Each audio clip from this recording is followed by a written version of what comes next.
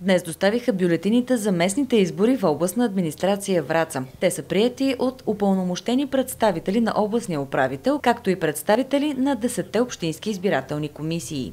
За община Врата са 84 000 за кмет и 84 за общински съветници.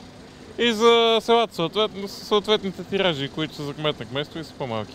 Бюлетините бяха транспортирани до областния град при засилена полицейска охрана, а общият им брой за област Враца е 435 200. Транспортирането им до отделните общини бе съпроводено от органите на ръда. За избор на общински кмет във Враца тиражът на бюлетините е 84 000. Към момента общият брой на секционните избирателни комисии в областта е 325, като от тях 26 са определени за подвижни. Такива ще има в общините Борован, Бяла Слатина, Враца, Козлодо и Криво Криводол Мизия, Оряхово, Роман и Хайредин. Предвижда се и определене на допълнителни секционни избирателни комисии в лечебни заведения, домове за стари хора и други специализирани институции за предоставяне на социални услуги.